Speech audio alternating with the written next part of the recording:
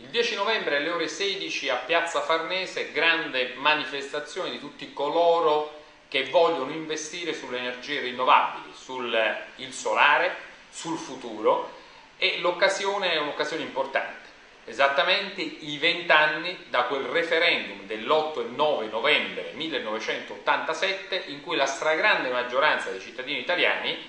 disse no alle centrali nucleari nel nostro paese e tutelò l'Italia dal grande problema che molti altri paesi hanno oggi di avere una quantità enorme di scorie nucleari di cui non si sa ancora come trovare una destinazione cosiddetta finale.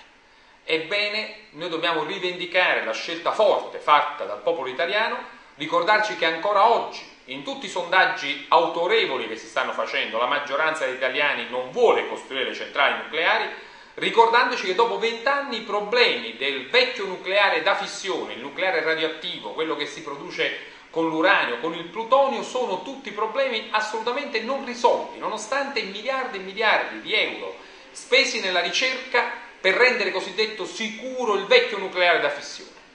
Ad oggi quella è una scelta del passato, mentre in questi vent'anni tutti gli investimenti con molte meno cifre investiti sul solare hanno portato risultati che hanno decuplicato le capacità di trasformare il sole in energia disponibile attraverso il solare termico, attraverso il fotovoltaico, attraverso il solare termodinamico, il progetto di Rubbia, cosiddetto progetto Archimede, che ha visto già a giugno aprirsi una grande centrale solare in Nevada negli Stati Uniti, che vede progetti avviati in Spagna e finalmente nel DPF di quest'anno, nel luglio scorso, anche l'Italia scegliere di puntare su 10 centrali solari da 50 MW nei prossimi anni. Dobbiamo andare verso il futuro. Ecco perché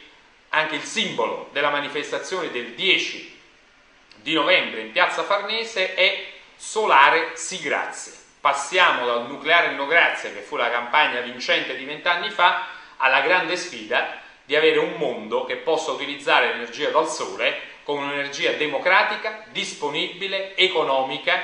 sostanzialmente inesauribile e dalla quale ricavare poi anche quell'idrogeno che può servire per far circolare le nostre auto nel futuro o anche quei biocarburanti non da filiera alimentare che non distruggono l'economia e affamano il mondo, che sono un'altra modalità che sempre viene dal sole, perché tutto il mondo vegetale usa anche in questo caso il sole per produrre energia.